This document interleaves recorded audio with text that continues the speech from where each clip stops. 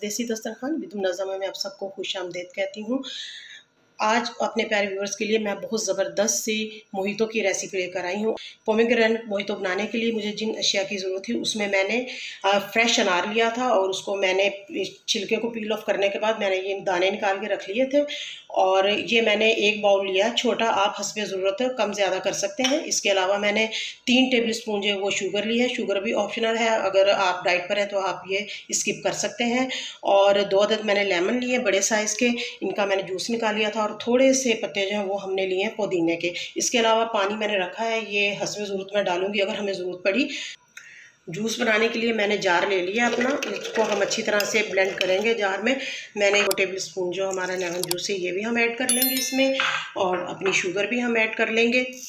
और इसके अलावा थोड़ा सा मैं पानी डालूँगी। बिल्कुल थोड़ा सा हसब ज़रूरत हमने लेना है, बस इससे ज़्यादा हम नहीं डालेंगे और थोड़ा सा मैं इसमें पिंक सॉल्ट जो है वो भी मैं शामिल करूँगी। हाफ़ टी स्पून मैंने पिंक सॉल्ट लिया है ये मैं इसमें शामिल कर रही हूँ। इससे इसका जो हमारे मोहितों का फ्लेवर है वो बहुत अच्छा आएगा। अब मैं ये तमाम अशिया जो है ग्राइंड कर लूँगी और ग्राइंड करने के बाद जूस निकाल के फिर मैं आपको दिखाती हूँ।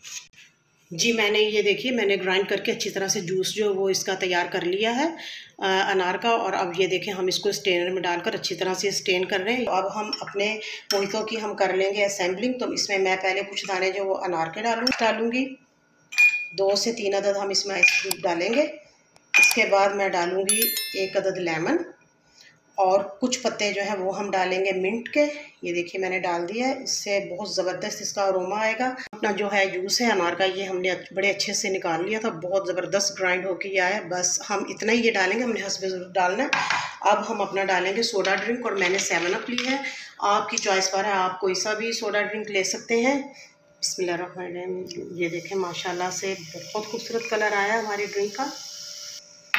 माशाल्लाह जी, ये देखें, हमारा पोमेग्रेनेट मोहितो बिल्कुल तैयार हो चुका है इसकी रंगत बहुत ज़बरदस्त आई और हंड्रेड परसेंट ये मैंने नेचुरल जूस तैयार किया है।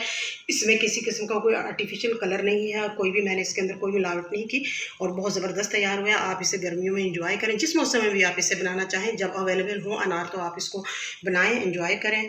और अगर आप मेरे चैनल पर नए हैं तो प्लीज़ मेरे चैनल को सब्सक्राइब करें, ज़्यादा से ज़्यादा शेयर करें लाइक करें। इन बहुत जल्द हाजिर होंगी। बहुत ज़बरदस्ती नई वीडियो के साथ। जब तक के लिए अल्लाह हाफिज़। is